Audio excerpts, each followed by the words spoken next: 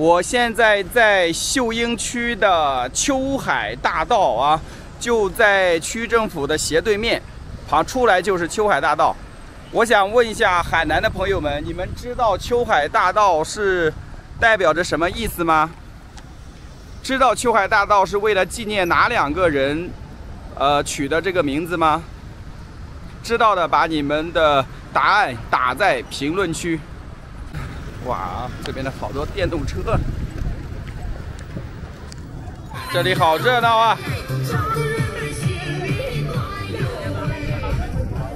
节日的气氛很浓厚啊！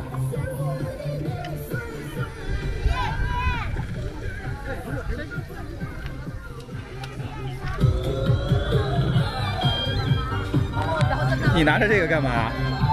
那个是给我写的。是吧？来转过来，我看看写的啥。大吉大利。哇塞，这么好啊！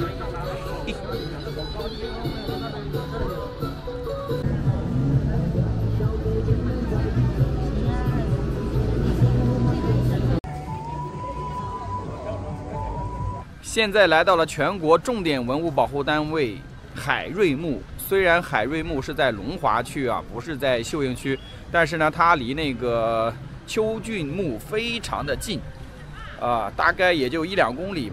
所以呢，我们在游览完呃秋俊墓以后呢，就顺便过来这个海瑞墓来游览一番。走，我们现在进去看一看。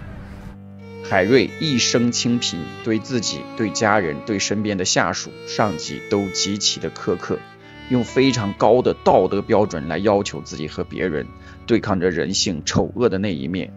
他所做的这一切，目的就是为了攀登道德的最高峰，到达那座毫无瑕疵的山顶。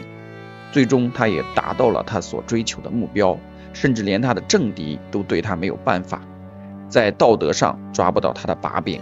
无法攻击，遇到这样的人，只能来一句：“这个真没办法喷，换一个。”驼背龟，你你念一下，驼背龟。哦，原来那个乌龟是背乌背的那个背的。是用来背，用来背背的。背背的。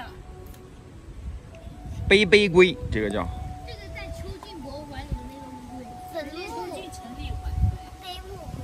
背木龟，你这个是小脑发育不好的三头六臂。看到这个，你想到了什么？日照香炉生紫烟呢？对呀，这个是香炉嘛。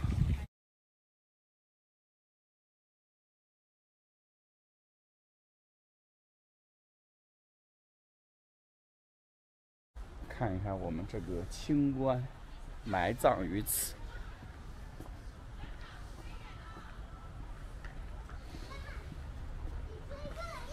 海瑞墓是在文革的期间是被损毁过，后来又重修的，只有这个墓碑是保留了下来。从万历十七年，也就是一五八九年，一直留存到现在的一个一个墓碑，上面有“资善大夫，南京督察院”。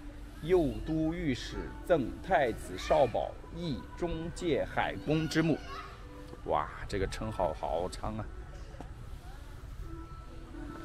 跟刚刚我们去的秋俊墓比起来呢，海瑞墓显得更气派，而且在通往墓碑的这条道上面，两边守护的除了，呃。石像的动物之外，还有两座石人在此守护。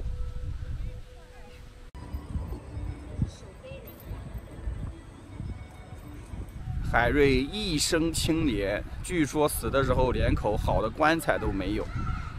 但是没有想到的是，在他去世几百年之后，他的墓地修得如此之气派，甚至比邱俊的墓。还气派！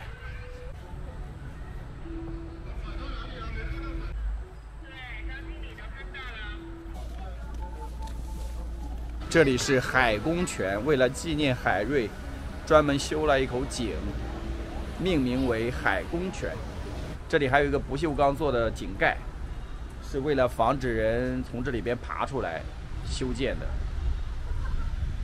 啊，看一下，里边没有泉了，也没有水了，已经干了。好，我们继续往里边走，里边就是海公祠了。清似江水，志同中山。海瑞的字啊，写的是真的好啊。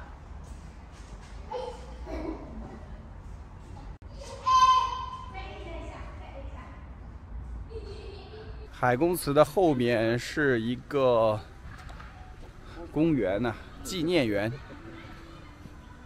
好漂亮的纪念园。这边就是海口市海瑞学校。清风门，这里的很多的建筑都是以清风来命名，清风阁、清风门、清风什么什么什么都是清风。哎，这个怎么叫杨莲轩呢？我还以为这个叫清风轩。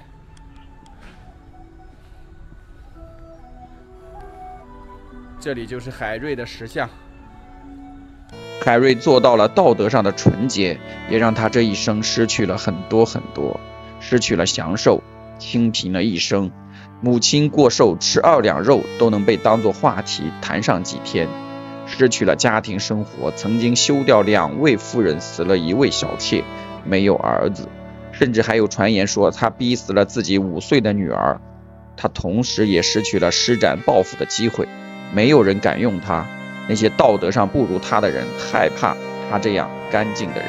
海瑞是如此的黑白分明，在他生活的时代不被体制接纳，虽然官做的不大，也没有干出特别的丰功伟绩，但是却把名字深深刻在了中华民族的历史上。这样的人生究竟是值还是不值呢？另外，我还想问他的是：你这一生快乐过吗？如何度过这短暂的一生？我觉得每个人都应该好好的想一想。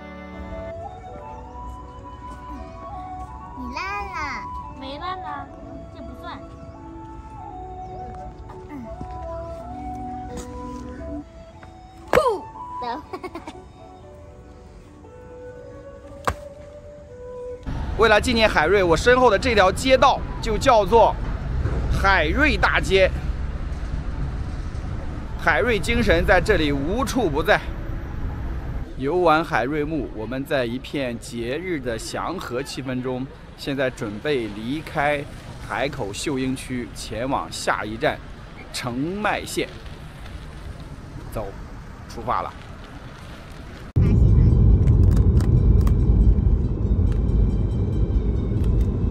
上高速，准备现在上高速，G 九八高速前往澄迈。